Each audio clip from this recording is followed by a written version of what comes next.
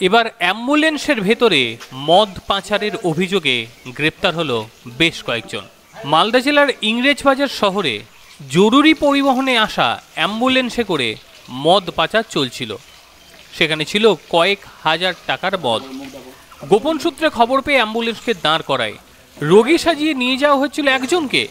অ্যাম্বুলেন্সের ড্রাইভারকে পুলিশ জিজ্ঞাসাবাদ করে জানতে পারে যে সেখানে প্রচুর পরিমাণে মদ লুকিয়ে রাখা হয়েছে।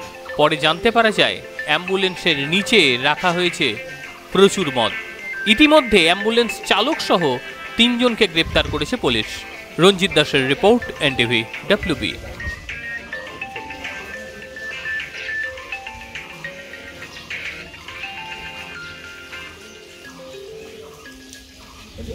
Yes.